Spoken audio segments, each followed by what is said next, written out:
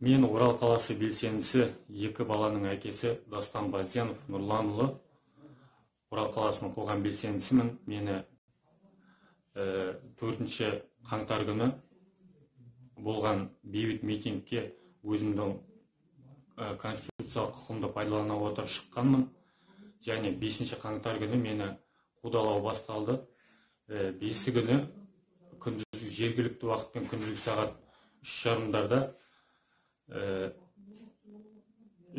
кетіп жатқан көлігімнен тоқтатып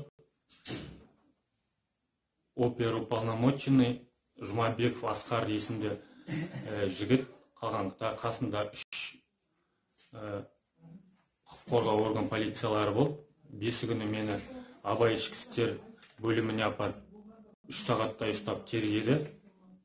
Одан алты жарымдарда босатып жетісі күні таңғы сағат сегіз жарымдарда үйіме баса көктеп кіріп заңсыз баса көктеп кіріп ә, мені қалалық ішкі істер бөліміне апарды.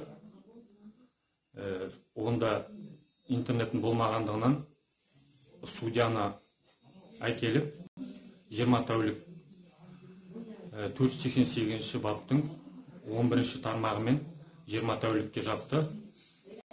Ол кезде менің следователім хайруллин есей есімді полиция болып және 20 тәулікке сотталғаннан кейін мені ә, сизода 11 тәулік жалғыз өзімді ұстап оны мен өзім психологиялық қысым деп есептеймін.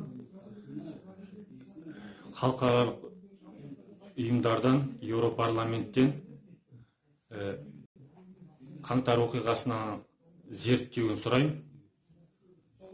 Рахмет.